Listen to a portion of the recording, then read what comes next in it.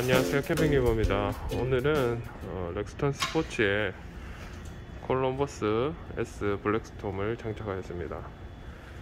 렉스턴 스포츠 같은 경우에는 픽업 트럭이 있기 때문에 이렇게 후방에서도 어, 충분히 들어갈 수 있어서 콜럼버스가 굉장히 잘 어울리는 것 같습니다.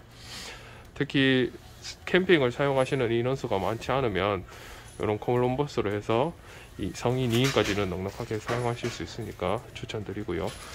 어, 주차를 후방 쪽으로 해놓고 경치가 좋은 곳에 가서 후방 쪽으로 앉아 계시면 굉장히 좋을 것 같습니다.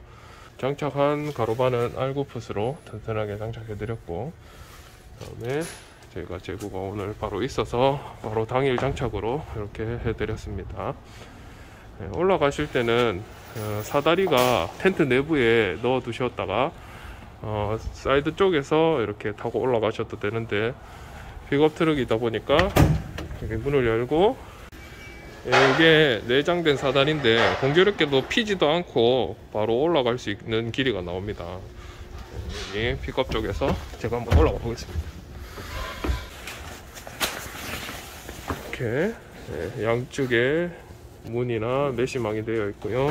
그 다음에 진영부터는 이렇게 앞으로 캐노피를 낼수 있는 대가 어, 기본 포함되어 있습니다. 요 기본 디귿자 대를 정- 조립한 다음에 앞에 문 쪽에 있는 내장되어 있는 곳에 넣어서 이쪽 고리에 걸면은 앞쪽으로 이렇게 캐노피를 마지막 천을 외부 천을 캐노피처럼 사용하실 수 있습니다.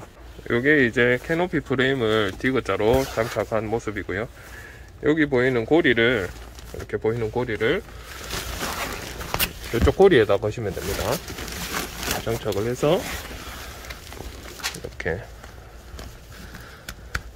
고리를 거시면 자 캐노피 프레임을 디귿자로 조립을 해서 두 군데만 하나 둘 조립해서 여기 상 앞에 전면에 있는 고리에다가 이렇게 걸면은 캐노피가 완성됩니다.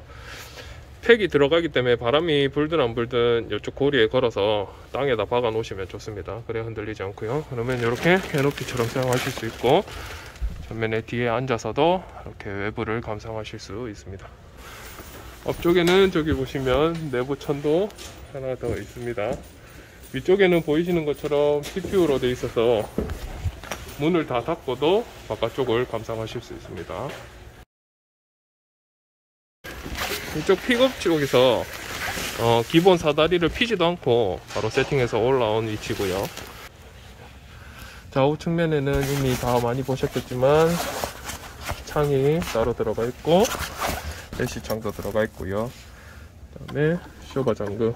요거 같은 경우에는 굳이 안 쓰셔도 넘어오진 않습니다. 웬만한 강풍 아니면 이걸 괜히 해 놓으셨다가 깜빡하고 저기를 당겨버리면 이게 깨지는 경우가 있습니다. 그래서 웬만하면 이건 안 잠궈 놓으시는 게 좋습니다. 네. 요 고무 같은 경우에는 어, 접으실 때 천이 바깥쪽으로 나가니까 그걸 하지 말라고 이렇게 양쪽에 여기랑 여기랑 양쪽에 걸어서 감아 넣는 역할을 하는 끈이 이렇게 기본적으로 들어가 있습니다. 요거는 해놓으시면 접으실 때 편합니다. 손으로 안 대셔도 되고요. 특히나 이 모델 같은 경우는 쇼바로 되어 있기 때문에 펴고 접을 때 굉장히 쉽습니다. 이렇게 총 4개. 하나, 둘, 셋, 4개. 고리도 하나, 둘, 셋.